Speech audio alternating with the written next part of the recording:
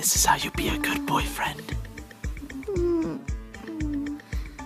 You sleeping? Hmm? Come on, let's go to bed, princess. Yep, go.